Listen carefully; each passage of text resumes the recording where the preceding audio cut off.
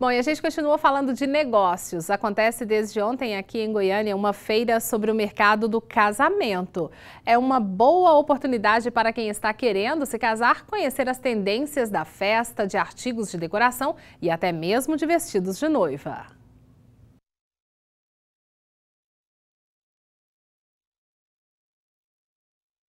Não importa se o vestido é imponente ou simples, o que importa é estar deslumbrante no dia do casamento. E também não importa se é branco ou dourado.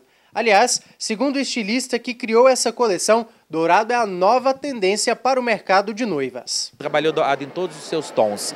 E o dourado ele é nobre, ele enobrece, ele enriquece. E é uma das grandes novidades, é uma dica que eu deixo aí para o mercado. A nova coleção foi lançada nesse evento destinado a noivas, que apresentou artigos e novidades para casamentos. O interesse do público só confirma o segmento continua em alta. O mercado de noiva ele sempre é muito agitado. A gente trabalha com festa, trabalhamos com sonho. Eu acho o mercado, um mercado lindo e ele é um mercado sempre em expansão.